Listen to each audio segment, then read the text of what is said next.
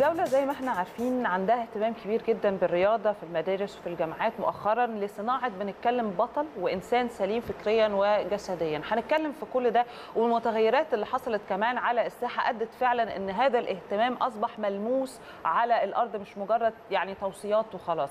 خلينا نعرف التفاصيل مع دكتور هشام الجيوشي نائب رئيس اتحاد الرياضات للجامعات. صباح الفل. صباح الخير على. حضرتك. وهنبدأ بالمقدمة الجميلة اللي حضرتك قلتيها. بس ليها تعديل هو سكرتير عام اتحاد الجامعات.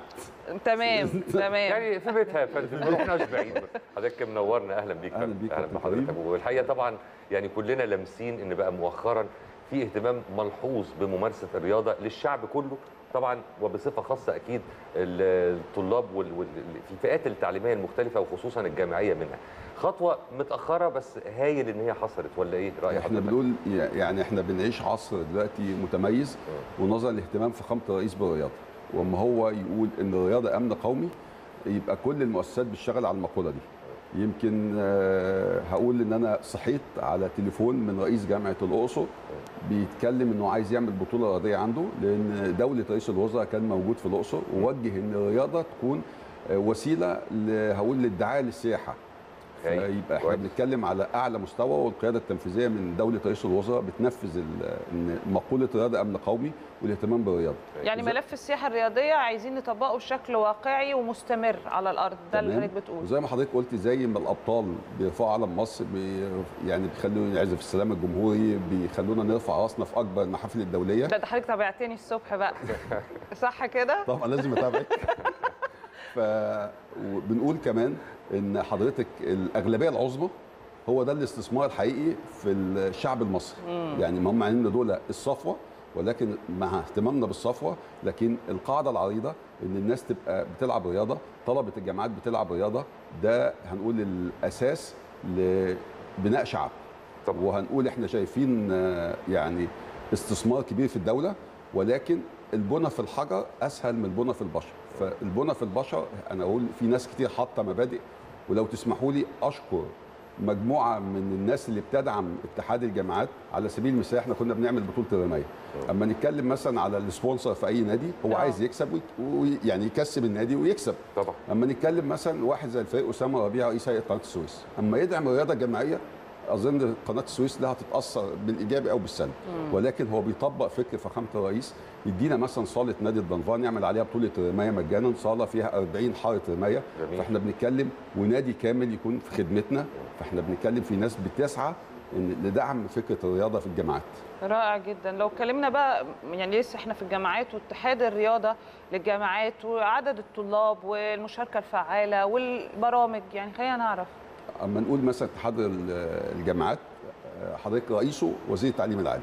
فإحنا كده كمان في توجه من الدولة إن مش آه، التعليم العالي والبحث العلمي فقط هو مسؤولية وزير التعليم العالي. هو قبل كده كان بيبقى مين رئيسه؟ كان قبل كده ممكن طلاب؟ يكون أي أستاذ. آه، ممكن أو يكون طالب؟ أي أستاذ. لكن النهارده بيبقى رئيسه زي اتحاد المدارس رئيسه وزير التعليم التربية والتعليم. فاحنا النهارده بنقول في مسؤولية أضيفت على وزير التعليم العالي والبحث العلمي إن الرياضة الجامعية دي مسؤوليتها طب هتهندلوا المسؤولية دي إزاي يا دكتور؟ يعني فكرة إن أنتوا هتعملوا إيه عشان توسعوا من قاعدة الممارسة الرياضية لكل طلاب وطالبات ال- الجامعات سواء بشكل تنافسي يعني من خلال مسابقات وبطولات إلى آخره أو حتى من حيث المبدأ فكرة إن الطلبة والطالبات يمارسوا الرياضة بشكل يومي. لو تسمح لي أجاوب على سؤالك كان في شهر تسعة كانت الجامعة البريطانية عاملة تكريم للست لعيبة اللي حاصلين على ميداليات أولمبية. كلمة وزير التعليم العالي هو بيقولها فبيقول أنا كان في اجتماع مع فخامة الرئيس الأسبوع اللي فات وفخامة الرئيس بيسأل هتعملوا إيه للطلبة في بداية العام الدراسي؟ وهبدأ بقى إجابة سؤال حضرتك اتفضل. إن إحنا مش من أول يوم في العام الدراسي إحنا عملنا يمكن بطولة كانت بطولة يمكن دورة رمضانية. وبعدين طلع قرار من دولة رئيس الوزراء إلغاء الدورات الرمضانية. حولناها بعد كده أما بدأ النشاط لبطولة صيفية. إحنا عندنا خمس قطاعات في يعني الجامعات. ابتديتوا قبل بداية الموسم الدراسي أصلا. من الصيف ما بنقفش. آه، في قطاع الصعيد في قطاع الدلتا في قطاع مدن القناة في قطاع القاهرة الكبرى في قطاع الجامعات الخاصة. عملنا خمس آه، معسكرات. الولاد كانت بتيجي بتلعب كرة قدم خماسي وطايرة شاطئية. البنات آه، طايرة شاطئية. عملنا خمس أفواج يمكن الفوج الأولاني كان فيه 13 جامعة كان في معهد إعداد القاده في حلوان. الفوج الثاني كان فيه 15 جامعة. ال semi final كان فيهم 14 جامعة. البنات في في الطايرة كان فيه 16 جامعة. النهائي بتاعهم كان يوم 7 و8 و9 أكتوبر. 9 أكتوبر ده بداية العام الدراسي. آه. كويس. بداية العام الدراسي كان في ماراثون تحيا مصر. شارك فيه حوالي 25 جامعة في جامعة قناة السويس. إحنا بنتكلم بقى ده الصيف. طبعا. وبعدين أول يوم يوم, دراسة. في 25 جامعة بتشترك معاك في لقاء حاجة يعني حاجة محترمة قوي. على قطاع المنافسة يمكن يمكن حضرتك عرضته يمكن لسه مخلصين بطولة الملاكمة أربع أيام في المركز زومبي في المعادي وكانت بتنظمها معانا يمكن في موجود سعادة رئيس الاتحاد المصري للملاكمة الدكتور عبد العزيز غنيم كان جاي بيوزع الجوائز بنفسه. كانت بتنظمها مع الاتحاد وزارة التعليم العالي. لو هنقول نبدأ قبل كده شوية. كان في طبعا بطولة البنتابول والرماية. آه، حضرتك دي كانت في جامعة قناة السويس. آه، في بطولة الكروسفيت يمكن دي بطولة اللياقة البدنية ودي اللي بنحاول نوصل فيها. بأكبر عدد من الناس اللي ما بتلعبش رياضة آه، يعني طبعاً. أنت عارف أنت لعيب كورة هي لعيبة باسكت فأنت متخصص بلعبه معينة. لكن النهارده ممكن يبقى مستوى اللياقة البدنية بتاعك يؤهلك إن أنت تلعب بعض البطولات سواء للولاد والبنات ودي برضه كانت موجودة في جامعة قناه السويس هي مجموعة يعني من الأنشطة الهدف بتاعتنا واحد يعني ناخد منتخب ويمكن عندنا بطولة دورة ألعاب أفريقية في شهر 6 القادم آه، في غانا في وبطولة اولمبياد للجامعات في الصين بإذن الله. إن شاء الله. فالبطولات دي بتؤهلنا إن إحنا ناخد المنتخب اللي هيلعب إن شاء الله البطولات الدولية القادمة.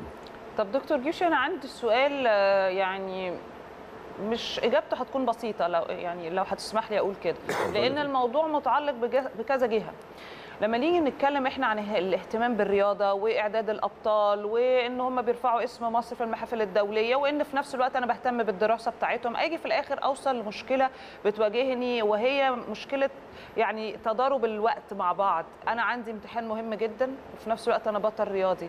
طب أنا عايز آخد اكسبشن عشان ما, مستقبلي ما يضيعش والسنة تروح عليا وفي نفس الوقت عايزه أروح البطولة عشان أرفع اسم مصر في الخارج على سبيل المثال يعني. فتلاقي تضارب بعض الجامعات أو المدارس توافق بعض الجامعات والمدارس تتعارض. الحل إيه؟ لأن لحد هذه اللحظة أبطالنا بيشتكوا. يعني أنا بجيبها لك من من الصورة الآخر. آه، من الآخر. أجاوب من الآخر. حاولت أختار طب. مصطلح تاني. طب لا أجاوب من الآخر. لا أحلى مصطلح. حضرتك مثلا نتكلم طب إيه رأيك في اللعيبة فريال؟ إن هي حضرتك أولمبياد متفوقة و- دراسيا بس دي exceptions. برضو خلينا نقول إن في كل قاعدة ليها exceptions أنا. ما أقدرش أعول عن بطلة زي فريال. ممكن ألاقي ع- ع- 20 واحد تانيين مش زي فريال. كويس. نقول إن فريال أول قالت أول حاجة وهي بتتكلم في كلمتها إن هي أهم حاجة تنظيم الوقت. طب في ريال بتنظم وقتها. في ناس ما بتنظمش وقتها ومش ممكن يكون بطل أولمبي أو بطل عالم ما بينظمش وقته. نرجع للسؤال بتاع حضرتك. حضرتك في قرار من المجلس الإعلى للجامعات؟ آه. أي واحد بيلعب بطولة دولية الامتحانات بتتأجل. الامتحانات كل اللي اتأجلت لي هطلع دور تاني؟ قانون الجامعات المادة من 100 لو أنا جبت فيها 100 من 100 هاخد 50 لا قال لك تمتحن في الدور الثاني ولو جبت 100% تاخد نفس تقديرك. كويس. يبقى ده المجلس الاعلى أكثر للجامعات عدلا الحقيقة. كويس. دلوقتي مثلا إحنا عندنا بطولات الجامعات شغالين وحضرتك في مثلا في بعض الجامعات فيها بطولة الميد تيرم حضرتك بجواب من رعاية الشباب لوكيل الكلية شؤون تعليم الطلاب الطالب بيتحول له الامتحان وبياخد نفس درجاته. ده لو أنت بتعمل آه، آه، يعني رايح بطولة بتمثل مصر ولا أنت بتمثل نادي؟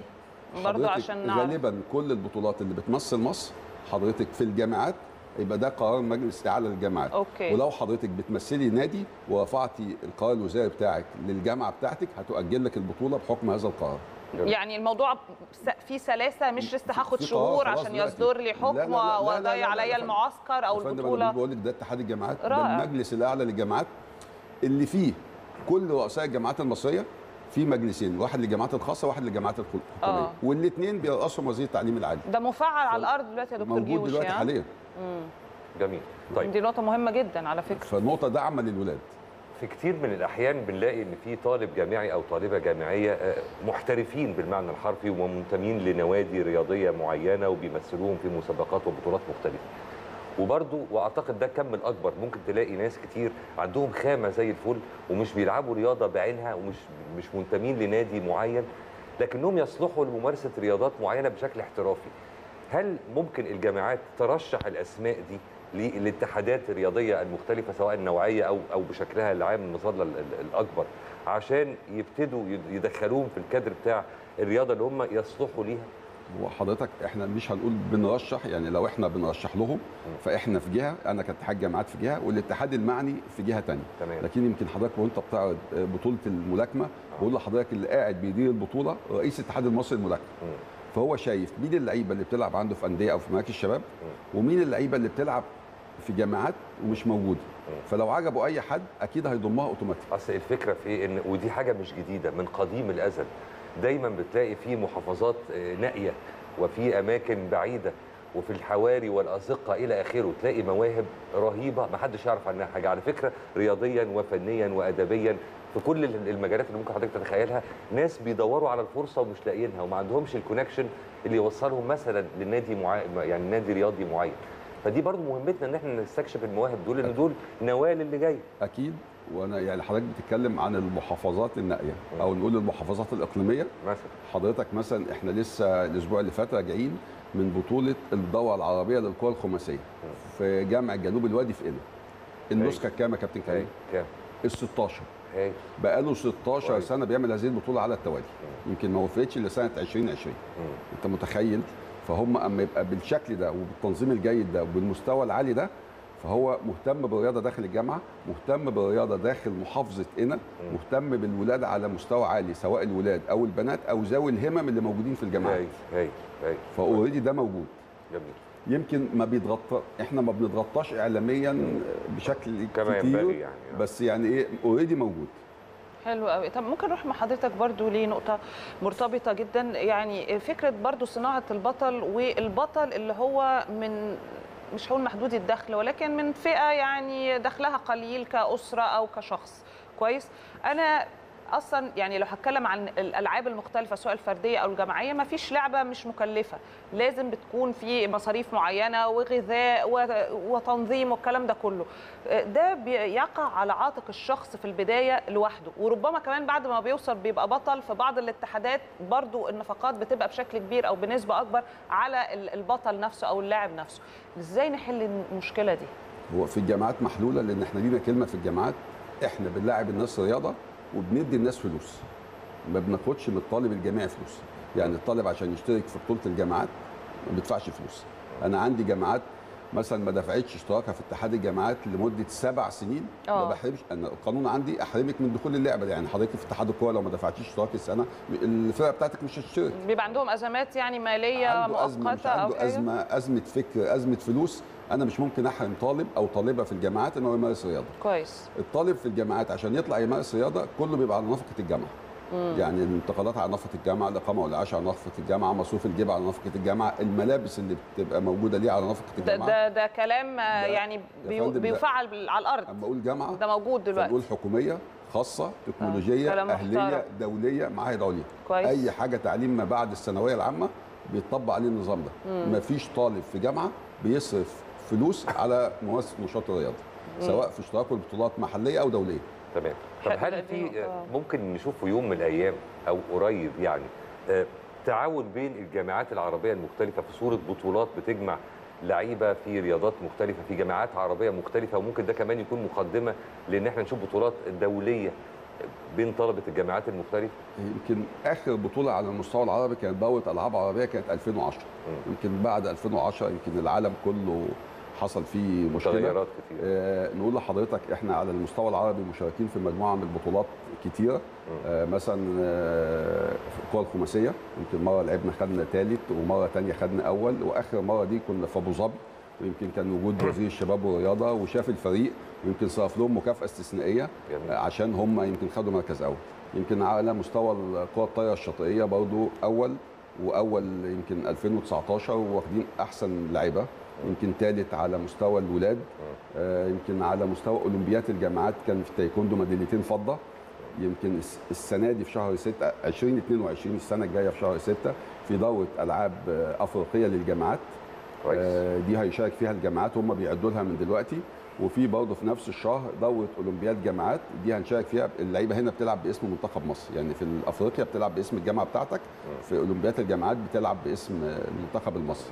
فإحنا على المستوى المصري يعني على المستوى سواء عربي أفريقي عالم أولمبياد جامعات مشاركين بنسبة كويسة وعندنا نتائج محترمة.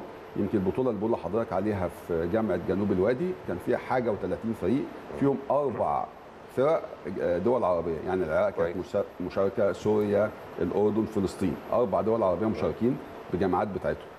جميل. فالمستوى العربي يعني على مستوى جيد. يمكن نائب رئيس الاتحاد المصري هو النائب الأول رئيس الاتحاد العربي الدكتور محمد صبحي حسنين. ففي تعاون يعني متميز قوي. إحنا كل البطولات مشاركين فيها على المستوى العربي. ويمكن لسه أنا بقول لحضرتك عاملين بطولة اتحاد شمال أفريقيا مشارك فيها مجموعة من الدول. بس كانوا الطلبة الوافدين موجود داخل مصر. يعني ما فيش دول جات لنا من بره. ولكن كل طالب بيلعب باسم دولته آه، من الطلبة الوافدين. وعملنا يمكن برضه مش هقول لحضرتك رياضة بس عملنا جملة رياضية. يعني خلال دقيقتين تعمل جملة رياضية بشكل عام أو في مجال تخصصك مثلا باسكت سلة طايرة ألعاب قوة خماسي. وفي جملة رياضية هقول نشيطة. بمعنى إيه جملة رياضية؟ يعني حضرتك الولد أو البنت بتعمل دقيقتين مجموعة من التمرينات. آه okay. كويس؟ مجموعة تمرينات؟ مجموعة تمرينات اللي هو بيتحرك بيأدي نشاط رياضي. okay. وبناء على جمال الجملة دي زي الجمباز كده. أنت بتدي درجات. كان في سبع دول حوالي 50 طالب وطالبة من سبع دول فكان برضو عدد كويس عاملينها اونلاين وكان المكسب يعني إحنا كان الأسبوع اللي فات برضو بنوزع عليهم الجوائز كان في اتحاد الجامعات ويمكن إحنا في اتحاد الجامعات واخدين مقر اتحاد شمال أفريقيا عندنا مستضيفينهم عندنا فبرضو داعمين دعم جامد جوائز مادية ولا جوائز هو ما مادية بس رمزية؟ لو قلت لك هتضحكي عليا رمزية؟ لا خليها هي مادية رمزية طيب لا بس مش يعني مشكلة آه، يعني يعني يعني, بتحقق يعني الحافز بس. بالظبط. انت عارفة ان ولد وبنت يعني إحنا مثلا من ضمن ال- الناس اللي كسبانة ويمكن آه، في بنت كانت بتأدي وهي من ذوي الهمم. آه. أنا وأنا بحكم عارف إن هي من ذوي الهمم ولكن آه، شروط المسابقة ما صنفناش آه، أسوية وذوي همم. فهم ادوها جايزة من أحسن الناس اللي أدت. فكانت جاية بتاخد الجايزة. فطلعتها وطلعت مامتها وكرمنا مامتها باسم يعني هنقول تكريم لكل أم طبعا. سواء على طبعا. مستوى مصر أو العرب أو. شمال أفريقيا. والبنت ما بدأت تتكلم فالناس حست إن هي من ذوي الهمم. وقلت لهم إن هي بتنافس معاكم ودخلت اشتركت لوحدها ودخلت اشتركت مع أخواتها. فأنت متخيلة يعني أسرة تقول لك إحنا السنة اللي فاتت كنا بنشترك معاكم وإحنا بنلعب تنس طاولة على ترابيزة السفره السنة دي إحنا جبنا لها ترابيزة تنس طاولة في البيت. هاي وسعداء إن هي اتكرمت معانا. لا بالتوفيق يا رب دايما. نوصل لده في البيت المصري؟ يا ريت كمان والله يا دكتور بيوشي إحنا خلاص تقريبا الفقره خلصت بس يعني دي فكرة كده يا ريت والله يبقى في اتفاق أو جزء عندكم في يعني في اتحاد الطلاب إن هو يبتدي يشتغل الماركتنج شوية يحاول يجيب رعاة أو حاجة للبطولات دي حتى يبقى بدل ما ندي حاجة رمزية ندي حاجة يعني داعمه وده برضو أعتقد مش هيبقى صعب قوي إنه يتم يعني. إعلان من قناة حضرتك ومن برنامج حضرتك أهلا وسهلا بالساده. طبعا. بس خ... يعني خلي بالكم في ناس رعاة بتيجي عايزة إيه؟ تاخد اشتراكات من الاولاد إحنا ما بناخدش اشتراكات من الاولاد عايزين ولادنا وفقاً تلعب لشروطكم رياضة بقى، وفقاً وعايزين كمان. نديهم هدايا. يا ريت يا ريت والله. دي رسالة يعني توصل لأي شخص حابب إن هو يدعم. يعني. موفقين شكرا. ليك يا دكتور. شكرا لسعادتك. نورتنا وإن شاء الله لحضرتك. نسعد بلقائك مرات ومرات بإذن الله. شكرا لحضرتك. هنطلع فاصل يا حضرات ونرجع عشان نبتدي مع حضراتكم آخر فقراتنا الحوارية في حلقة النهارده من 10 الصبح في الأهلي. اتفضل.